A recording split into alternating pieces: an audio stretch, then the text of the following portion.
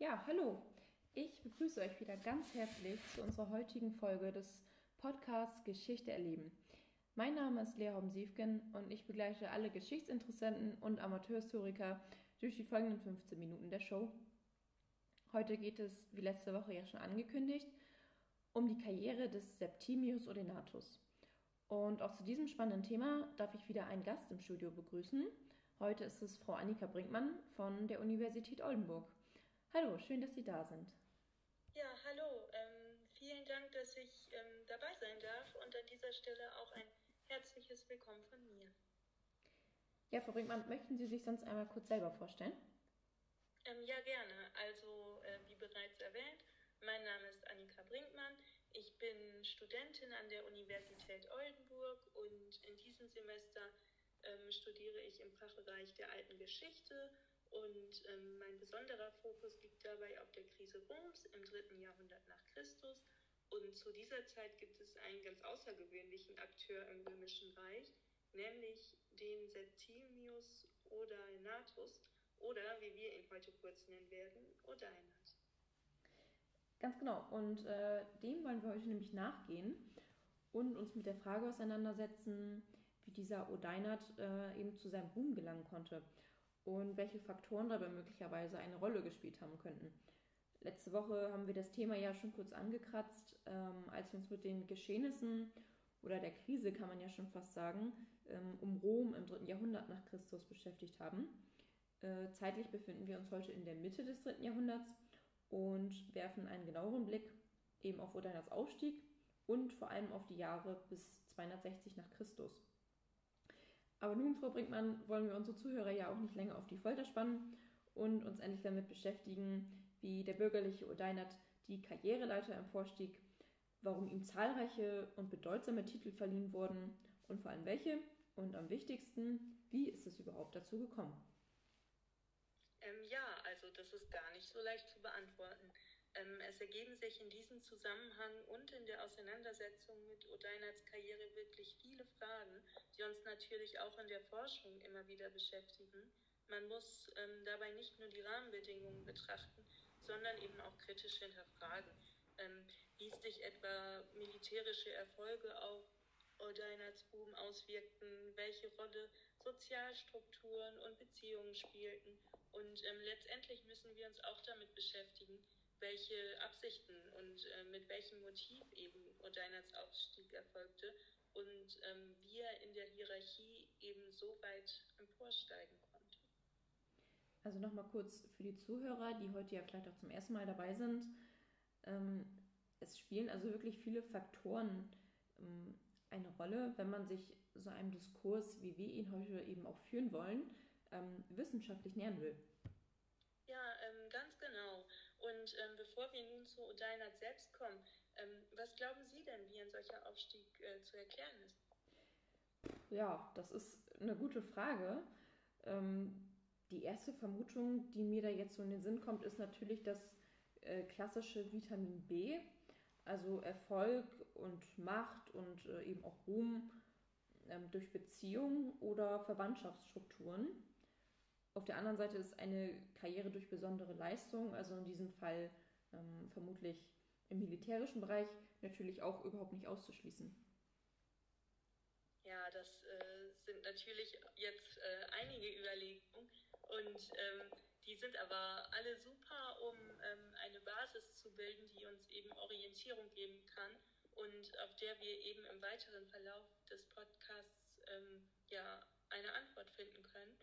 Und ähm, damit wir eben auch all diesen Fragen nachgehen können, würde ich sagen, schauen wir uns am besten zunächst einige biografische Angaben zu Odeinat an.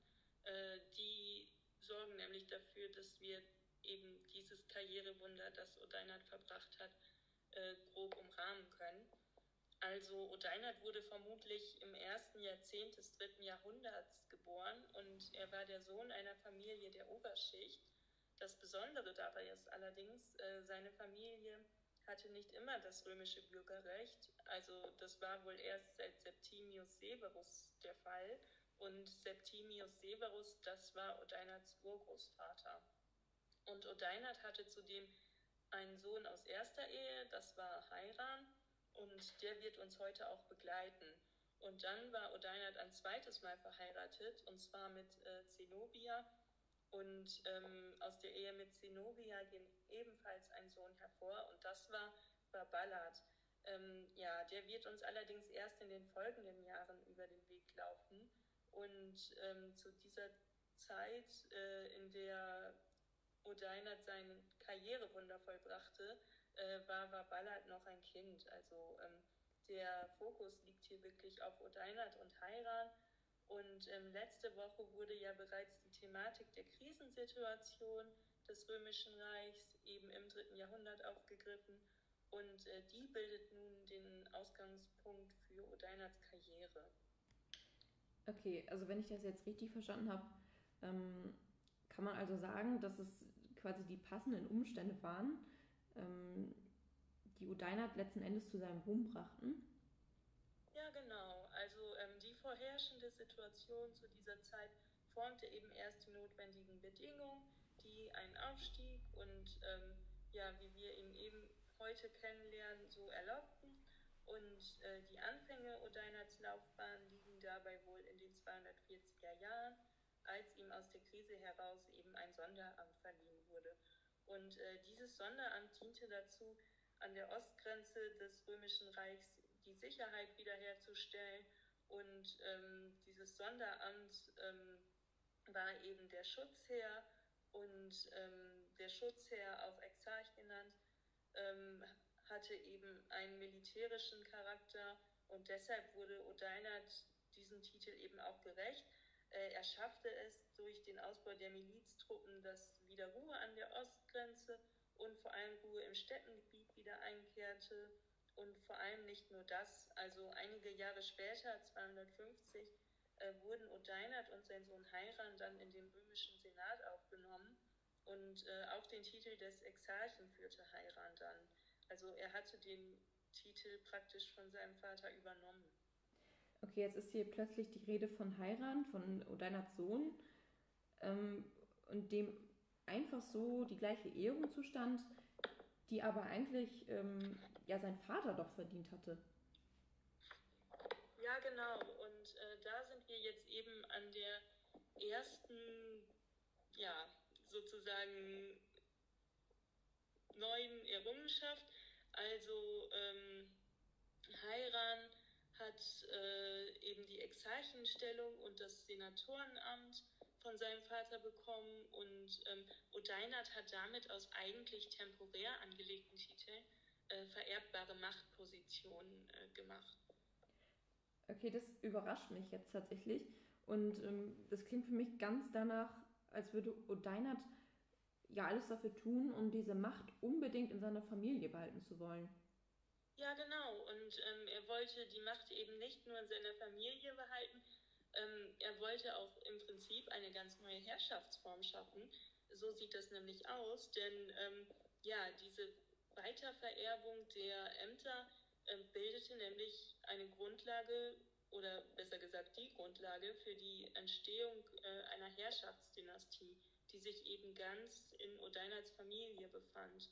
Und mit der Ernennung zum Konsular, das war dann 257 bzw. 258, äh, kam Odeinat an diesem Konstrukt noch ein Stück näher. Er nahm einen noch höheren Rang ein. In der Forschung belegen die Quellen nicht eindeutig den konkreten Anlass zu dieser Beförderung, aber es ist äh, unumstritten, dass Odeinat sich in den vergangenen Jahren im Grenzschutz und vor allem äh, dem Kaiser gegenüber loyal bewiesen hatte. Und ähm, es wird vermutet, dass Odeinats militärische Erfolge 256 äh, vor allem am Euphrat eben durch die Ämter geehrt werden sollten. Und äh, auch das Amt des Statthalters kann eben für diesen Zeitraum wohl oder einer zugesprochen werden. Wow, das sind ja wirklich ähm, einige Titel, drei beziehungsweise vier in der Zahl und in einem wirklich nicht allzu langen Zeitraum. Also bewegen, wir bewegen uns hier in der Spanne von gerade mal zehn Jahren. Äh, Frau Brinkmann, wie ging es denn dann weiter? Ja, also auf dem Weg zum Höhepunkt der römischen Krise kam man Odeinat wohl zudem, also 205, 259 oder 260 noch als General an der Seite des Kaisers Valerian betitelt.